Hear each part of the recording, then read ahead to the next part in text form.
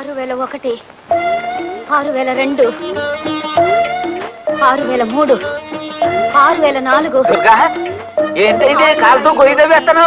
పెజవాడలో బెల్లం బుజ్జమ్మ తులసి కోట చుట్టూ పదివేల ప్రదక్షిణాలు చేసి రికార్డు స్థాపించిందంట. నేను పదకొండు వేల ప్రదక్షిణాలు చేసి కొత్త రికార్డు నెలకొల్పబోతున్నాను. అందుకే రాత్రి నుంచి ఇలా తిరుగుతూనే ఉన్నాను. నేను నెలకొల్పటా నేను నల్లులు కొట్టా నడిచి నడిచి ఎంత గోయిదో చూడు. అవును నా జేబులో డబ్బులు ఉండాలి నేనే తీసా నలభై ఒకటి. నువ్వు తీసావా? నేను అక్కడ తచ్చి చెడి కింద మీద పడి డబ్బు సంపాదించి తెస్తుంటే వెత్తలు విడిగా ఖర్చు చేసేయడం అలవాటు అయిపోయింది నీకు? నావి ఆరు వేల నలభై మూడు మా ఆయనవి మూడు ఆరు వేల నలభై ఆరు.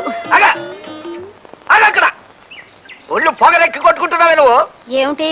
ఊరుకునే కొద్దీ నోరు లేస్తోంది. ఒకసారి లోపలికి రా. ఏం లేదు. నీతో చిన్న పనుంది. రా చెప్తా. అమ్మ తులసమ్మ మిగతా ఐదు వేలు వచ్చి తిరుగుతానమ్మా. పద. నువ్వు తిరుగు. పద.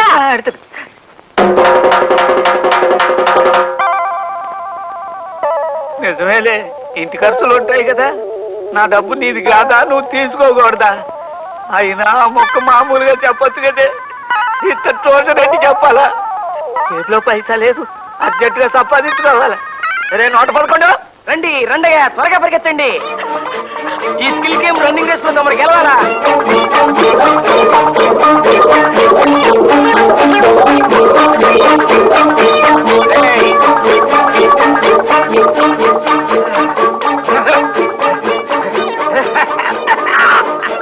అయ్యా గెలుపు తమది. ఏ మాట కా మాట చెప్పుకోవాలి. ఈ స్కిల్ గేమ్స్లో మన కొట్టేవాడు ఓల్ ఇండియాలోనే లేడురా. ఎస్ సార్ బాబు? నేనే ఓడిపోనాం బాబు. పన్నెండు డబ్బులు ఈగో బాబు. బేగ డబ్బులు చెడిపండి ఈగో బాబు. వస్తాం బాబు. దయించండి బాబు. వస్తాం బాబు దయించండి బాబు. నమస్కారం అండి. నమస్కారం. నేను ఒక నిరుద్యోగిని ఇవాళ పేపర్లో ఉద్యోగాల గురించి పడిందట. మీరేం అనుకోకపోతే పేపర్ ఒకసారి ఇస్తారా? అలాగే. చాలా థ్యాంక్స్ హిందూ పేపర్ ఉంటే ఇవ్వండి. బరువు ఎక్కువ కదా. థ్యాంక్స్ అండి. థ్యాంక్స్ అండి. ఇదిగోనండి మీరు ఇచ్చిన పేపర్లు అరవై రెండు రూపాయలు తిరిగాయి ఇందా డబ్బు. చాలా కష్టపడి సంపాదించిన డబ్బు ఒక్క పైసా కూడా వృధా అవటం నాకు ఇష్టం లేదు. కొండంత ఆస్తి పెట్టుకుని వీధిలో మరి తిరగటం ఏంటండి కర్మ? నీకు అర్థం కాదులే నేను చాలా ప్రాక్టికల్ మనిషిని. ఆ, ఎవండి ఏమిటే? అటు చూడండి ఆ పిల్ల లావణ్యలాగా లేదు? లాగా ఉంటావే నీ మొహం లావణ్యే. ఏమమ్మా ఇనప గజ్జల తల్లి నువ్వేమో హాయిగా దర్జాగా ఇలా బతికేస్తున్నావు. నీ ప్రేమలో పడి ఉక్కిరి బిక్కిరి అయిపోయిన మా తమ్ముడేమో అక్కడ మనసు విరిగి మతి చెడి దిక్కుమాలిన బతుకు బతుకుతున్నాడు. మా వాడితో ప్రేమ నటించి ఇంత మోసం చేస్తావా? నువ్వు నువ్వు మనిషి అయినా అసలు? ఆడపడక పుట్టావు దేనికి? అడ్డంగా పెరగడానికా? వదిన గారు. నన్ను అలా పిలవకు. చేసిందంతా చేసి ఇప్పుడు వదిన గారు అంటూ అభిమానం వలకపోస్తుందమ్మా నంగ నచ్చి దొంగబుర్రా నేను ఇప్పుడే హోటల్లో రూమ్ తీసుకున్నాను.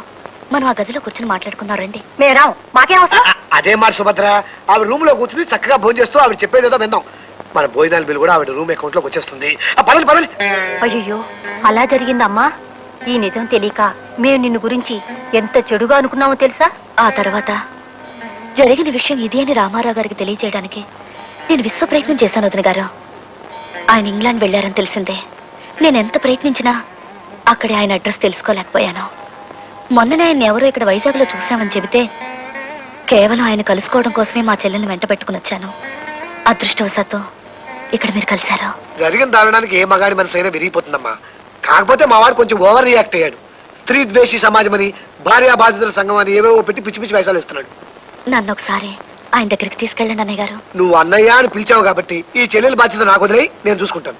నువ్వు ఇప్పుడు వెళ్ళి కాళ్ళమే పడితే చెప్పులెత్తు పడడానికి వచ్చావని అపార్థం చేసుకుంటాడు మావాడు అంచేత నువ్వు కూడా కాస్త పట్టు పెట్టు చూపించి వాడు దిగొచ్చి భూమి మీద నిలబడి నీతో మాట్లాడేట్టు చేసుకోవాలి. అందుకు నాకు అమోఘమైన ఆలోచన తడుతోంది. బాబు రిక్షాపు మన ఇంటికి ఎవరో చుట్టాలు వచ్చినట్టున్నారు. రమణం రమణం తొందరగా ఆళ్ళని కూడా వచ్చి శీర్షాస్త్రం ఏమను? లావణ్య ఆ ఇల్లే మీ రాముడిది.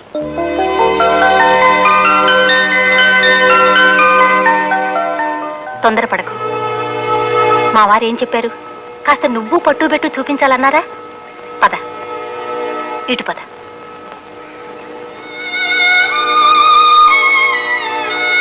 రామ్మా. మీరా? రిక్షాలు మా ఇంటి ముందు ఆపారేమిటి? మీ ఇంట్లో ఓ వాటా ఖాళీగా ఉందన్నారు కదా అది మేము తీసుకుందామని. అద్దె మీ ఇష్టం అక్కయ్య గారు. అద్దెదే ఉందమ్మా. ఇది వరకు ఉన్న వాళ్ళు ఆరు వందలు ఇచ్చేవాళ్ళు. కాదు కాదు ఐదు వందలే. అది మా వారి ఆసనాలు లెక్కలేమ్మా. అద్దె లెక్క కాదు. మీరు ఏడు వందలు ఇస్తే చాలు. రండి. గురుగారు ఏటి అంత అర్జెంట్గా రమ్మన్నారు? ఏటే సీఎం? అటు చూడు. పురుషద్వేషి సమాజం. అమ్మ అమ్మ. ఆడెవడో పోలీస్ స్టేషన్లో ఆత్మహత్య చేసుకుంటాడు తప్పదు. ఆ బోర్డు పెట్టింది ఆడవాళ్ళు.